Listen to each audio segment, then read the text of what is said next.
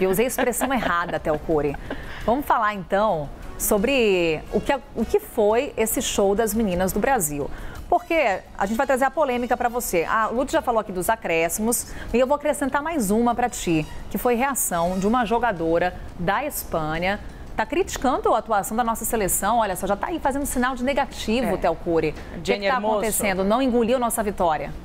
Não, porque é um, é um absurdo, né? A, a, a Lud, bom dia para a Lud, falou. É isso, a gente jogou com respeito à Espanha e não veio respeito do outro lado, é. da principal jogadora da Espanha, dizendo que a gente não joga é, futebol, que o que o Brasil faz não é jogar futebol. Enfim, quem está na final é a gente. Vamos ver como que vai ser o, a disputa do terceiro lugar por elas, né? E ontem, conversando com o Pedro Beltrão, nosso editor-chefe, ele falou: se for chorar, manda áudio. E é isso esse é o recado para Jenny Hermoso depois dessa entrevista que ela concedeu ontem. E que, assim, é, e aí acho que o principal destaque é esse tempo extra que é, beira o absurdo, né? Os 15 minutos também já não tinham motivo algum para existir e para além, isso já tinha acontecido no jogo passado da seleção brasileira, para além dos 15 minutos e, e, na outra a Luz vai me vai dizer melhor de quanto que havia sido o acréscimo, que era, era, um tempo muito grande também, desproporcional com o que tinha sido jogado no segundo tempo,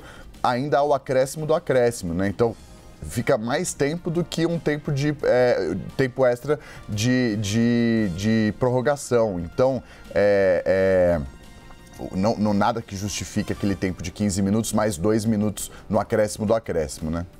Primeiro jogo foi 19 minutos de acréscimo minutos. É, ali contra a França, que, né, injustificável. E ontem também, aqueles 15 minutos, em que nada aconteceu no segundo tempo para dar, é, dar esse tamanho de tempo ali de, de, de, jogo, né? Enfim, a França, a Espanha, perdão, acabou fazendo ali o segundo gol, mas como comentei com a Carol, a gente já estava comemorando, meio que de nada valeu aquele segundo gol da França, porque quem está na final são as brasileiras, é, o time de Arthur Elias e todas as meninas do Brasil que merecem merecem muito, Carol, merecem muito. A gente veio falando, cobramos né, a seleção feminina, porque a gente só cobra quem pode oferecer. E a seleção poderia oferecer. E aquele jogo contra a França foi uma virada de chave. Elas mudaram a cabeça, sabiam que podiam chegar mais longe, venceram a França e agora bateram as atuais campeãs do mundo e estão na final. Pois é, naquela fase de grupos ali parece que não ia, né, Lud? É. E aí vem esse show agora das nossas meninas.